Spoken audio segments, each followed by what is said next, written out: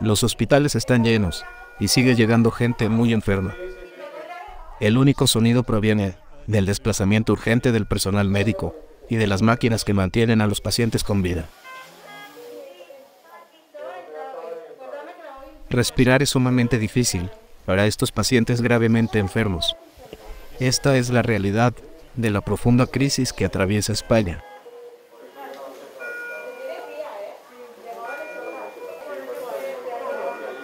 Muchos de los pacientes están inconscientes. Se les da la vuelta para aumentar sus posibilidades de sobrevivir.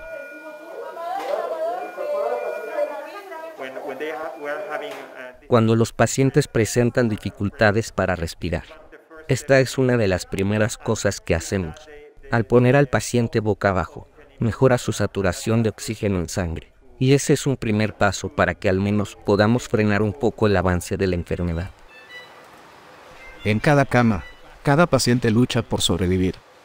Guerras solitarias, sin seres queridos a su lado.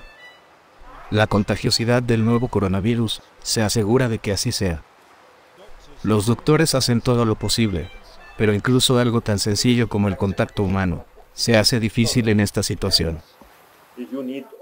Si tienes que seguir todos estos pasos para el tratamiento de los pacientes, si tienes que intubarlos, si tienes que ponerles un catéter, si tienes que realizar una serie de maniobras, que de por sí son complicadas, se nos hace aún más difícil hacerlo con estos trajes. Desde España, observaban horrorizados lo que sucedía en Italia, pero ahora van por el mismo camino. El brote de hecho puede seguir empeorando, ya que hay más personas contagiadas en España que en Italia.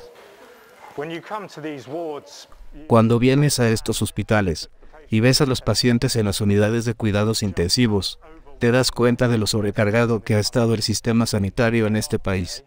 Día tras día, paciente tras paciente, siguen llegando. Y para darles una idea de lo mala que es la situación, solo en este hospital, más del 75% de los pacientes están aquí por tener COVID-19. La mayor parte del personal médico de este hospital se ocupa ahora del coronavirus. Los médicos comparan lo que aquí sucede con una catástrofe natural, una catástrofe que no para.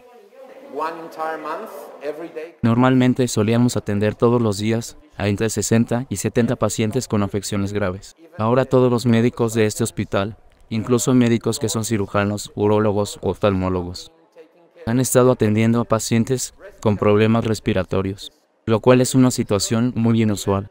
Incluso hemos contratado a estudiantes universitarios que cursan el último año de medicina para que nos ayuden a atender a estos pacientes. Un buen resultado depende de las destrezas del personal médico, pero también admiten que cuando se trata de un virus, del que nadie en el mundo sabía nada hace un par de meses, la suerte también juega un papel importante. Adrià ha tenido suerte.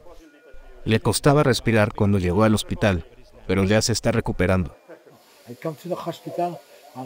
Vine al hospital. Ingresé en el hospital. Sin embargo, no puedo recordar qué fue lo que pasó. Esta es mi tercera semana en este hospital. Pero ahora ya me encuentro bien. Estoy bien. Los médicos dicen que este país al igual que prácticamente cualquier otro país de Europa, no estaba preparado para la envergadura de esta crisis. Hay escasez de ropa protectora e incluso los pabellones deportivos se han convertido en salas con camas. La advertencia que hacen es sobre suspender el confinamiento demasiado pronto. Extenuados, los médicos temen que esto podría ser apenas el comienzo y que un segundo brote podría ser aún más devastador. Alex Rossi, Sky News.